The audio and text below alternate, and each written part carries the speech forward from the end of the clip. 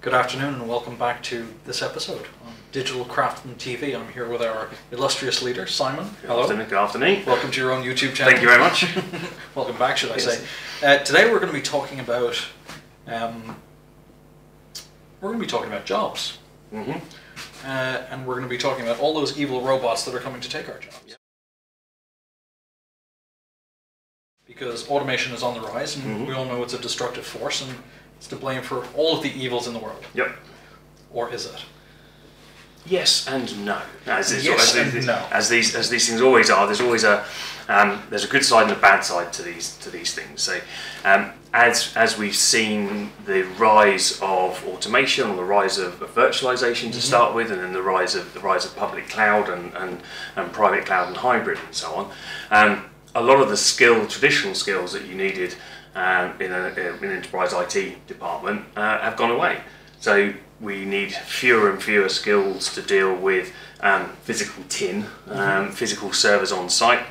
More and more servers are moving off site, um, either to a co-location facility or into uh, or in, uh, just just being replaced by cloud, um, and software is being um, replaced by uh, you know kind of continual development, cloud native type technologies.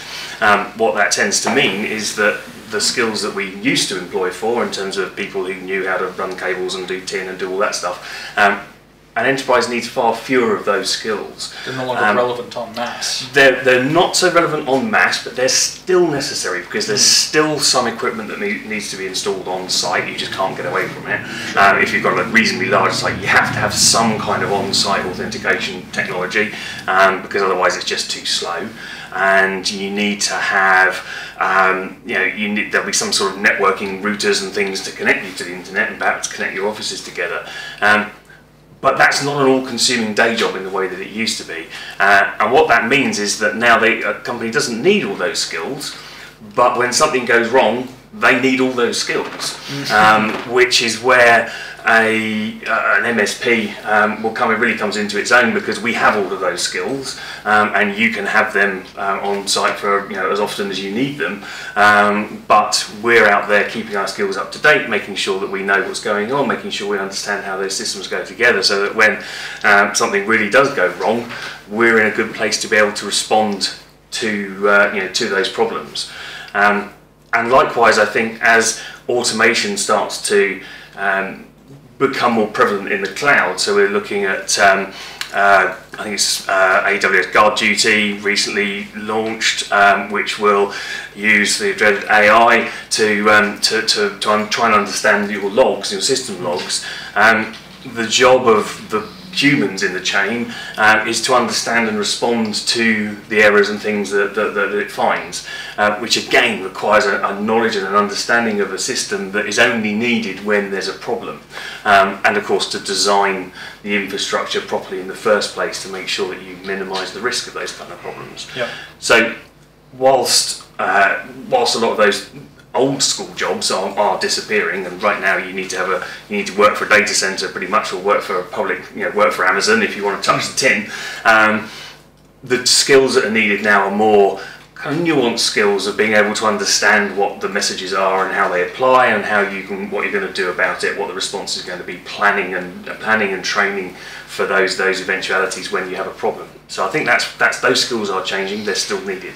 And is do- does that reflect a change in mindset as well? I mean, you you and I have had numerous conversations around two topics. The first is flexibility in delivery, delivering the kind of operating model that a customer wants: hybrid cloud, multi-cloud, private cloud, colo, whatever it is. Yeah. Give choice to the customer. And then the second one was this idea of the, the economy of expertise.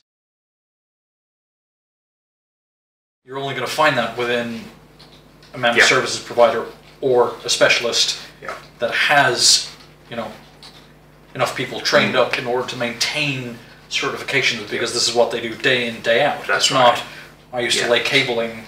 Yeah. Um, I, I think that's I think that's right. I think that's the the, the, the, the challenge that enterprises, small small enterprises, large medium sized businesses Yeah. have is that they just don't have enough work to justify having someone on full time.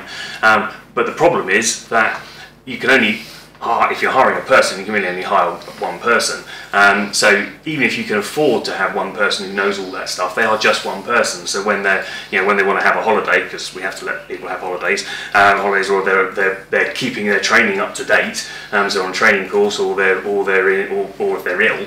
Um, then there's no one there who understands what's going on, which is which for certain types of businesses is a considerable risk and one that they should address by.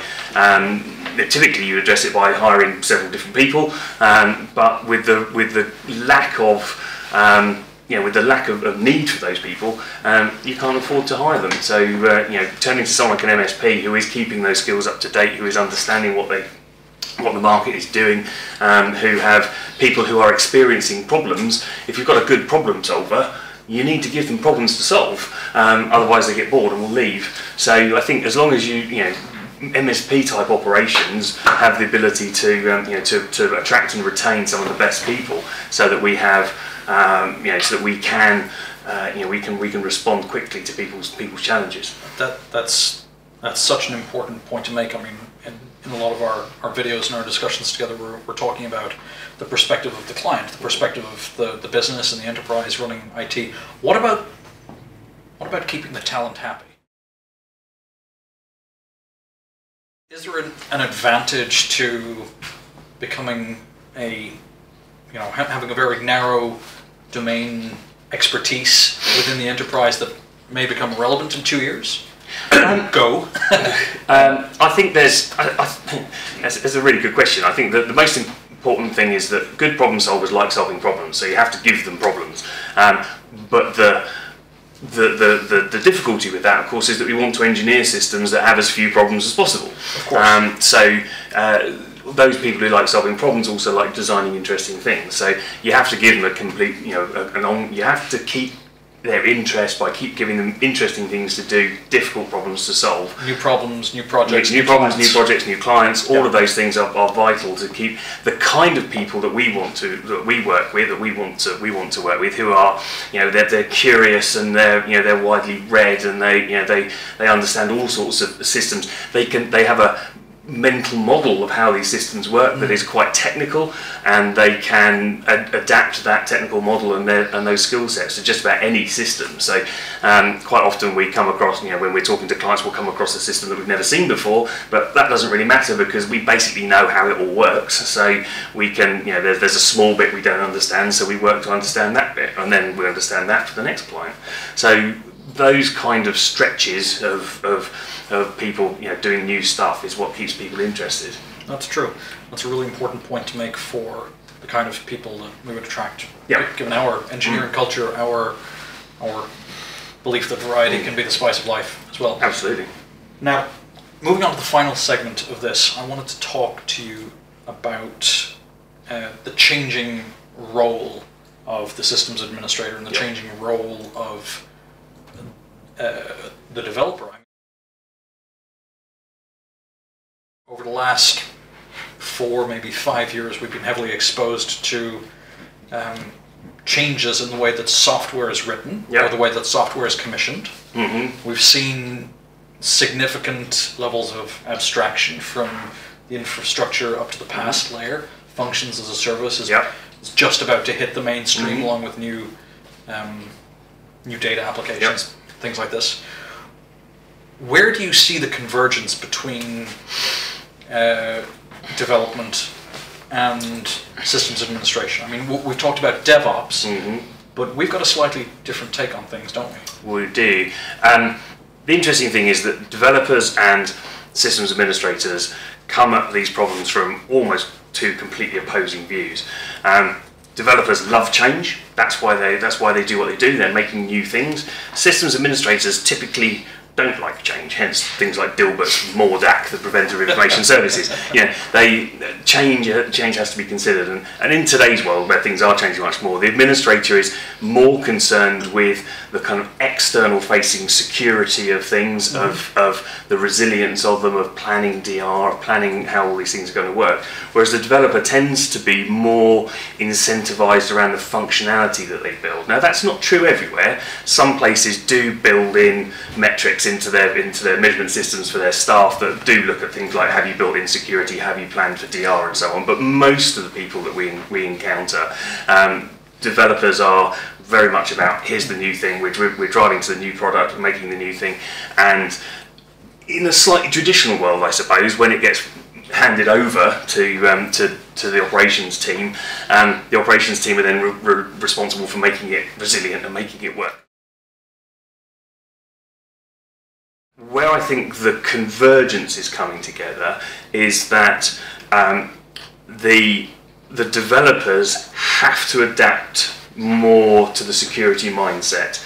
They have to make sure that they are building from scratch systems that are going to work well in a cloud native environment, that are you know that are, are capable of working across multiple sites, that are not traditional one machine runs it all kind of designs.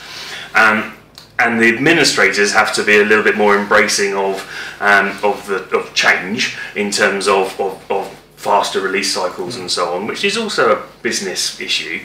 Um, but once that's in place, the administrator's role then becomes one that is more of uh, a monitoring and oversight type of role. So it's about establishing the standards that the developers should work to, and about making sure that those standards are followed. And then ultimately, effectively, what becomes the, the network operations center or the security operations center um, in terms of, of monitoring the system as it, as it goes through. So developers, developers need to be available, they need to be accountable for the reliability of their system in production. Um, and, um, and a very good friend of ours is working um, in, in, an operation where she is, is responsible for making sure that her developers um, you know, really buy into the fact that they are responsible for how well it performs in mm. Production. Um, and um, and what we see is the, the administrators then become uh, much more associated with the sort of overall security and governance and, and, and performance optimization and cost optimization um, within the public cloud. So their, their role becomes slightly different in terms of in terms of the things that they need to do. I mean, this this seems to be a much more uh, mature, nuanced analysis. If we were to take a step back and look at what DevOps is and what it is not, mm we tend to talk you know, DevOps does not mean move fast and break things with the operations people saying, just don't break it, just don't break it, just don't break it. Yeah. We, we see DevOps as a methodology mm.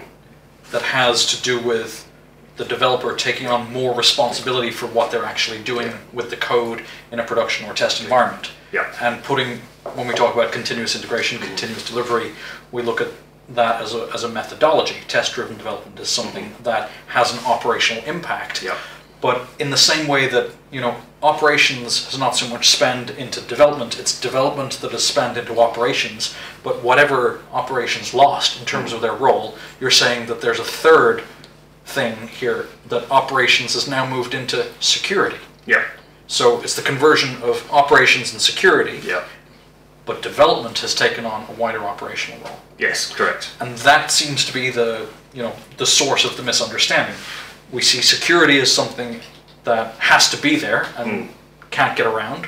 We see move fast and break things is a great way of innovating and, and prototyping, mm -hmm. but not at the expense of losing security or stability over your production environment. No. And we see that the changing roles of operations folks yep. has to become more of a systems architect or a solutions architect in terms of understanding the base components. Yeah. We had a chat with Paul, our technical director, mm around the building blocks and how to yeah. move them around. But I think it's it's very clear now that the security mindset bleeds into operations, mm-hmm. and that is the day-to-day reality. Yeah. Development and the methodology for producing cloud-native software has changed and mm-hmm. taken up more operations. Final question is, where does that leave the MSP? The MSP is, is providing um, a set of experience. And you said um, uh, uh, expertise, economies, um, of expertise. economies of expertise earlier on, um, and I think that's that's the key thing. Some of this stuff, uh, as it becomes a little bit more abstract, I think some of these stuff, some of this stuff becomes harder to understand. You yeah. can't, you know, you need to do more work to become skilled in those in those areas. Yeah. The, the days when you could you could bluff your way into a web developer job just because you could write a bit of HTML is long gone, or at least it should be. Um, you have to know about these things and you have to studied these things. Um, and whilst the business can take a certain amount of operational risk um, by saying, well, we'll hire Joe Bloggs, he can just get on with it. um, because he knows about these things, and we'll just sweat him and we'll make him work all weekend and we'll make him work his holidays. You know, he'll never be he'll never uh, not be on duty. Um, I think it's safer for businesses when they when they have some risk of being online.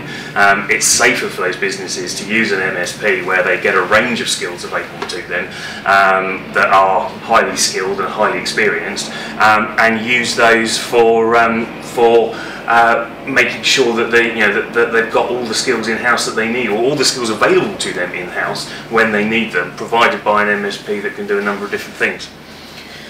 Um, to conclude on, on, on, that point, we see that the choice to hire an MSP is one of fear or one of pragmatism.